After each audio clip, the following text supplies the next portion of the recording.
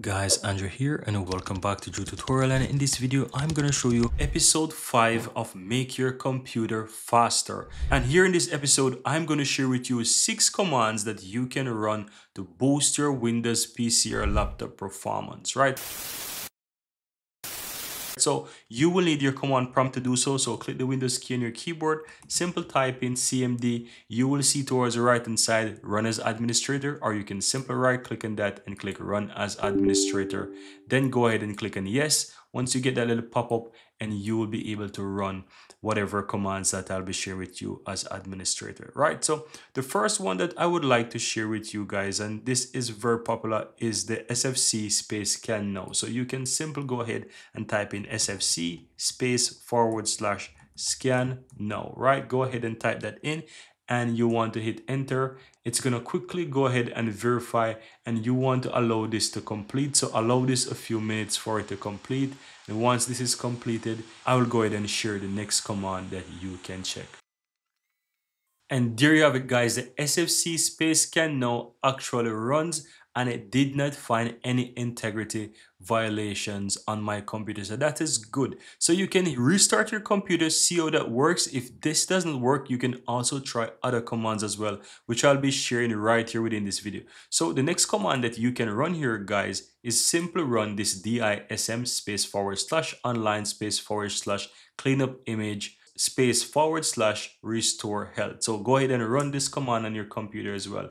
This will take a little bit longer time than the SFC space scan now, but you want to allow this to run on your computer because this will definitely help to boost and speed up your computer performance. As you can see, depending on the computer speed that you have, it will be fast or it will take a little bit time, give it a few minutes and then allow this to complete, but it will definitely help your computer performance in the end.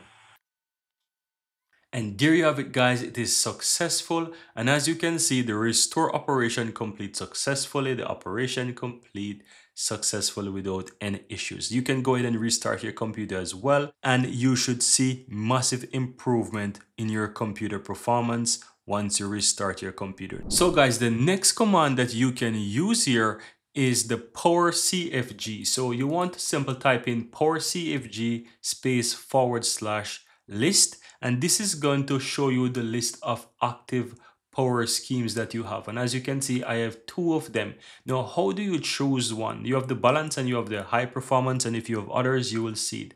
So this is very easy to do. So all you have to do is just simple go ahead and type power cfg space forward slash set active space and the GUID of that power scheme that you want simple hit enter and it will set it as active for you. So i'll put in this within the description as well so that you have the examples so that you know exactly how to do this. Now the next command that you want to use guys is the group policy. So it's to simply update your group policy. So in case you're having laggish on your computer or your computer is simply moving sluggish you can simply type in gp update and you want to do a space forward slash force. Now, this will go ahead and update your group policy for you. So just allow it some time to do the update and this will improve the performance if your computer is acting up or moving sluggish. Now the last and final one that I will share with you guys that you can use is the clean MGR, right? So in case you're having any problems with your computer, you can simply run this clean MGR command and this will in fact help your computer to clean up and improve your computer efficiency, speed, and this will definitely help you going forward. Here you have it guys. I really hope you found value within this video. And if you do, don't forget to take a moment to give this video a like and hit that subscribe button so that you'll never miss out when I release future videos just like this one. Thank you guys for watching and see you next time.